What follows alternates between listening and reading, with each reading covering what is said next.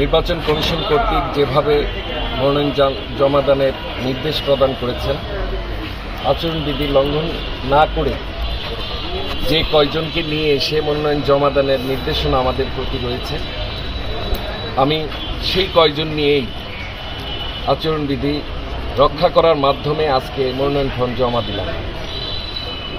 আমি গাজীপুর এক আসন থেকে স্বতন্ত্র প্রার্থী হিসেবে আজকে মনোনয়ন জমা দিলাম। আমি আপনাদের মাধ্যমে গাজীপুর এক আসনে সর্বস্তরের জনসাধারণকে অভিনন্দন জানাচ্ছি শুভেচ্ছা জানাচ্ছি। আগামী সাতই জানুয়ারি নির্বাচন গণপ্রজাতন্ত্রী বাংলাদেশ সরকারের সফল রাষ্ট্রনায়ক সফল প্রধানমন্ত্রী মানবতার মা জননেত্রী দেশরত্ন শেখ হাসিনা। তিনি মনোনয়ন ঘোষণার পূর্বে আমাদেরকে গণভবনে ডেকে নিয়ে যে নির্দেশনা দিয়েছেন, তার নির্দেশনার আলোকে ইনশাল্লাহ আজকে মনোনয়ন জমা দিয়েছি। আমি বিশ্বাস করি মাননীয় প্রধানমন্ত্রী তার যে উদ্দেশ্য, একটি স্বচ্ছ, নিরপেক্ষ, স্বতঃস্ফূর্ত, আনন্দমুখর পরিবেশে দ্বাদশ জাতীয় সংসদ নির্বাচন সম্পন্ন করার ইতিমধ্যেই ইলেকশন কমিশন তার সকল প্রস্তুতি স্বতঃস্ফূর্ততার মাধ্যমে শুরু করেছেন। আমি বিশ্বাস করি, আগম, আগামী দ্বাদশ জাতীয় সংসদ নির্বাচন হবে বাংলার বুকে একটি নিদর্শন, যেটি জনগণ তার রায় দিতে পারবেন। জনগণের সঠিক রায় প্রতিফলিত হবে। আমি বিশ্বাস করি কোনো প্রার্থী যে যে প্রতীকী পাক, কেউ কাউকে আচরণবিধি লঙ্ঘন করে বাধাগ্রস্ত করবে না।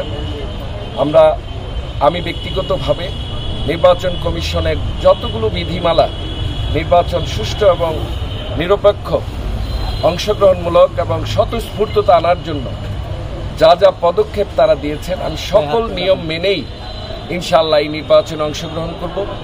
আমি সেই ক্ষেত্রে আমার গাজীপুর এক আসনের কালিয়াকুর উপজেলার নয়টি ইউনিয়ন একটি পৌরসভা সিটি কর্পোরেশনের এক থেকে আঠারোটি ওয়ার্ড কোনাবাড়ি কাশিমপুর বাসন তিনটি থানার সমন্বয়ে আমার এই ছয় লাখ আটানব্বই হাজার ভোটারের ভালোবাসা সংগ্রহ করেই ভালোবাসার মাধ্যমে হৃদয় জয় করে আগামী দিন ইনশাল্লাহ ভালোবাসার রেজাল্ট নিয়েই বিজয়ী হব বলে আমি শতভাগ আশাবাদী ইনশাল্লাহ।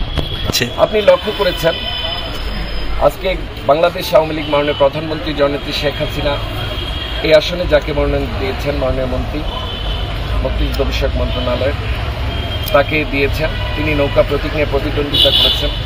আপনি লক্ষ্য করেছেন, গত উনিশ সালে আমি যখন নৌকা প্রতীক নিয়ে কালিকুর উপজেলা পরিষদ নির্বাচনে অংশগ্রহণ করেছিলাম, সেই দিন আপনাদের এই গণমাধ্যমের মাধ্যমে সারা দেশে যে মন্ত্রীটি ভাইরাল হয়েছিল, আমি নৌকার বিরুদ্ধে অবস্থান করে, আনারসের মিছিল করে, নৌকাকে সরাসরি আচরণবিধি লঙ্ঘন করে তিনি মাঠে থেকে নির্বাচনে নৌকার বিপক্ষে অবস্থান করে যিনি অংশগ্রহণ করেছিলেন আমি সেই আলোচিত ব্যক্তির বিরুদ্ধেই গাজীপুর এক আসনে আমি স্বতন্ত্র প্রার্থী হিসাবে নির্বাচন করছি।